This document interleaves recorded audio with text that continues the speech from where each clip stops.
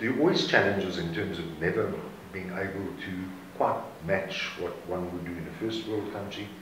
Um, having the range of equipment is available at the drop of a hat, but, uh, but certainly in South Africa we believe that what we have got available um, for clients in rental, um, and as well as what, what we can bring in um, for them, uh, is we've never we've never faced the challenge of a job yet that we couldn't we couldn't provide lifting for.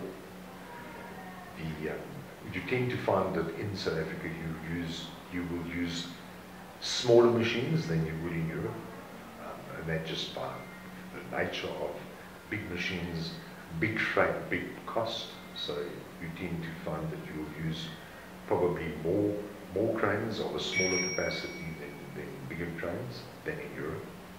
And at the same time, you've also got to be always cognizant of South Africa will never, as long as we have labour, be as mechanized as what the first world will be.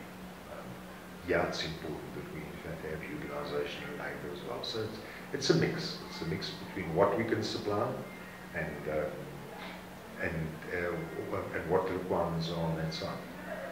But anything, whether it's a whether it's a nuclear power station, ordinary coal-fired power station, hydroelectric scheme, uh, high-rise building in Sandton, Cape Town, or wherever, we can we can always provide the lifting for. One one of our promises to our clients, and it started off it started off in 1982 as being almost a lukewarm promise because nobody ever did it.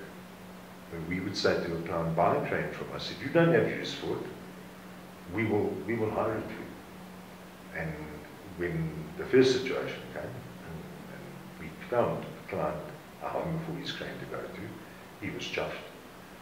Um, the longest, and it's quite it's quite a, an amusing anecdote one of our clients, we had his crane, he owned it for 10 years, of which we used it for seven and he used it for three. But both happy.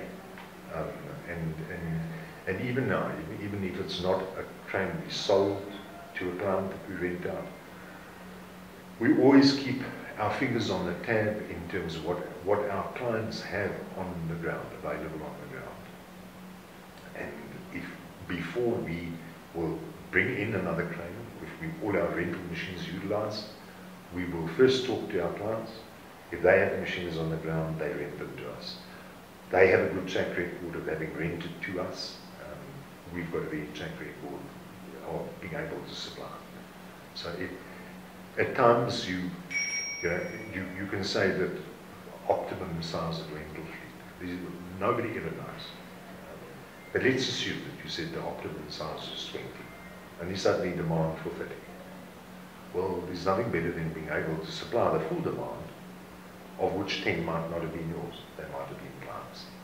Um, and it, it helps to keep everyone happy and it helps to keep, there's nothing, nothing worse than having dead cranes lying on the ground. That has changed. It's had, it's, it has been a mindset change. When, when I started French, it was unthinkable amongst the major contractors that you could, for example, talk to Murray & Roberts about using a Group 5 crane. That um, was just completely off the radar screen.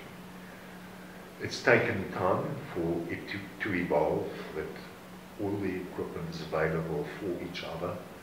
There are clearly some people that, you know, and I mean we do normal credit checks with everybody. There are some people that wish to wish to hire um, that are not creditworthy, where we won't do it you'll find somebody in the market will do, and, and invariably that's, that ends in deals.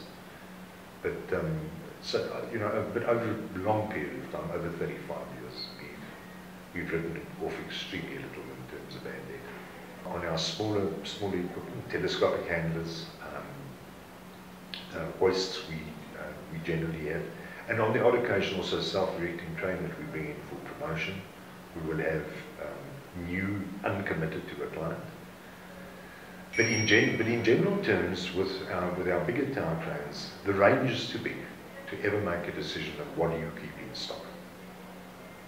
So our theory is that we would rather um, service out of an extensive rental fleet And if a client has made a late decision to buy a crane, which is not normally the case, they normally have, from the time they decide to buy a crane, they've probably got three or four months before they need to be on site. But just assume that somebody always believed he was in a rent and then changes his mind and decides he wishes to purchase. And he needs, he needs the crane in two weeks' time. We can't supply him a brand new crane, but we'll put one of our rental cranes on um, and he'll start his job, we'll order his crane and when his crane arrives, we'll swap. Um, it's something that can be done practically any site, anywhere. Um, can be done over a weekend. We've done it frequently, um, and it keeps everybody happy.